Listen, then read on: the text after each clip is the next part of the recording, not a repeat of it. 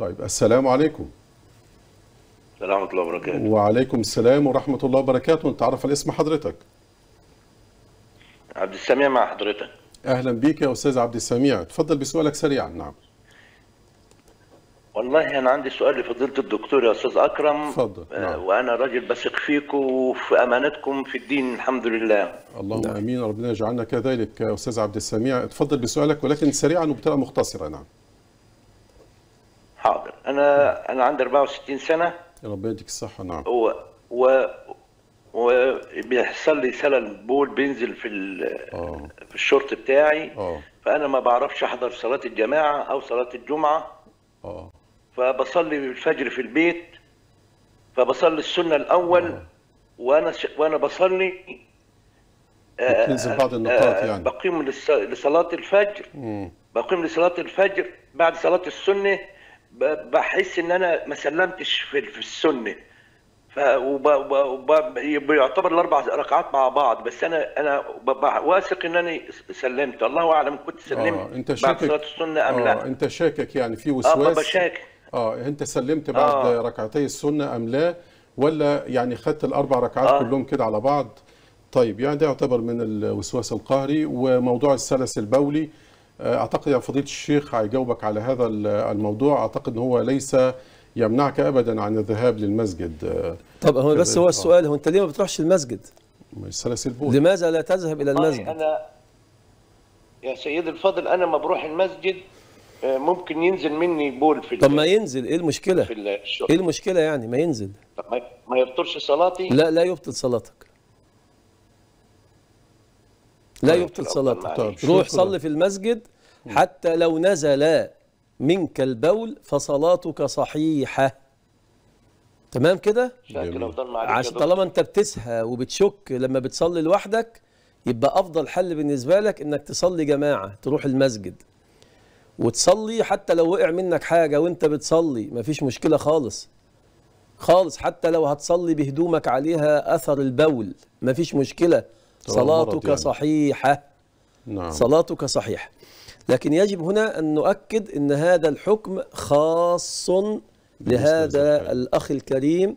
والوالد الفاضل ولمرضى آه، سلس البول لأنه سلس البول يعني عدم التحكم في البول. في البول. وده أمر مرض يعني ليس للبشر فيه إرادة وبالتالي لهم رخصة مريض سلس البول ومريض القولون بتاع القولون ما بيقدرش يتحكم في الغازات.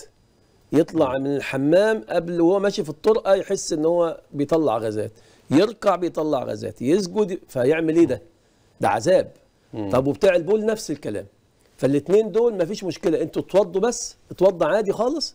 وروح بقى. اللي يطلع يطلع واللي يقع يقع واللي ينزل ينزل. صلاتكم صحيحة. وروح صلي الجمعة وصلي الجماعات وصلي كل حاجة. وصلاتكم صحيحة سواء كان بيخرج غاز من القولون أو بيخرج سلس بول. صلاتكم صحيحة.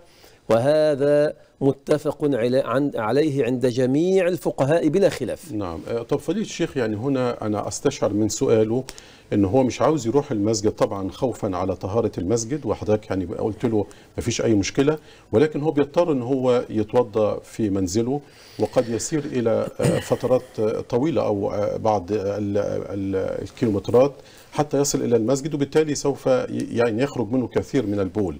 هذا الأمر أيضا يذهب إلى المسجد وهو متوضئ في منزله ويصلي عادي مع لا الجماعة هو هو يعني آه. مريض سلس البول غالبا غالبا نعم بيقع منه أشياء يسيرة وليس الكمية كمية الكبيرة كبيرة. من البول هو يستطيع أن يتحكم في الكمية الكبيرة لكن هو ما بيقدرش يتحكم في الحاجات الصغيرة اللي بتقع منه نقاط- قطرات نقاط- قطرات آه. قطرات كده نعم يعني ممكن تبقى المثانة مليانة عنده هو نعم. متحكم فيها نعم. لكن ما بيعرفش يتحكم في موضوع القطرات فمريض سلس البول غالبا بيبقى بيقع منه قطرات. القطرات دي آخرها إن هي يرى أثرها على الثياب.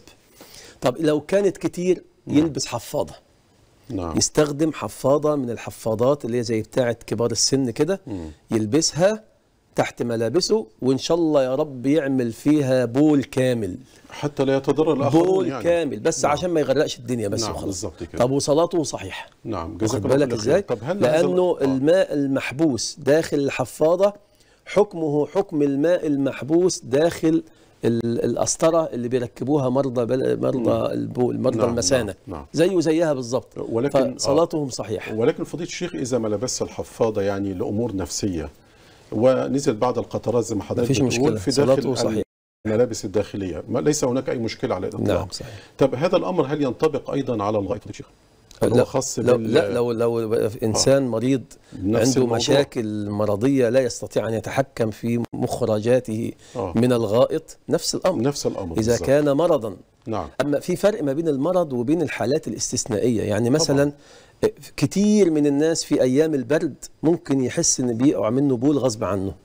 لا ده ما ياخدش نفس الحكم. يخش الحمام تاني ويظبط حاله.